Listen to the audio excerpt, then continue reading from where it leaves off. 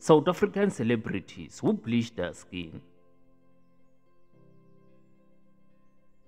Number 1. Khanyi Mbau.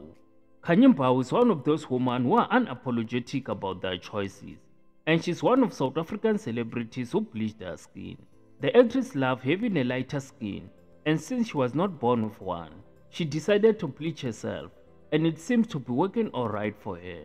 Although Khanyi had initially reported that she was tired of all the bleaching creams that were available in the market, it appears that she finally found the one that she loves. Using the hashtag the art of skin lightening, Khanyi shared a video of her applying some cream on her face, praising a brand called Gugu Beds for their product, and she said it helped her repair and restore her skin. Despite being happy with her skin, it appears that some of Khanyi's fans are not very thrilled about the star's beauty routines and have expressed their concerns to her, with some even asking her to stop. Number 2.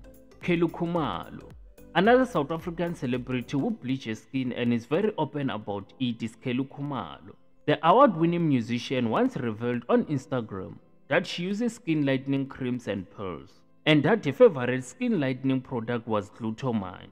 While we are not sure whether all the bleaching is safe for her, Kelly Khumalo seems to be comfortable with it, and we believe that is what matters the most. Number 3. Sorisha Naidoo The 45-year-old real housewife of Durban star Sorisha Naidoo is another South African celebrity who bleaches skin, but is not very proud of it. According to Sorisha, her reason for experimenting with bleaching creams resulted from criticism from the Indian community for being dark-skinned.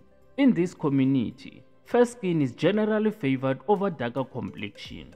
Having had enough of all the negative comments, the former Miss India South Africa resorted to using chemicals that contain tretinoin, which is a common skin whitening product. Unfortunately for Sorisha, the bleaching creams had severe side effects on her skin that included thinning, and that was a wake-up call for her to turn her life around. One thing we can learn from her story is that hurtful words have a damaging effect on a person's self-esteem, and that unkind word is enough to make someone bleach their skin or even commit suicide.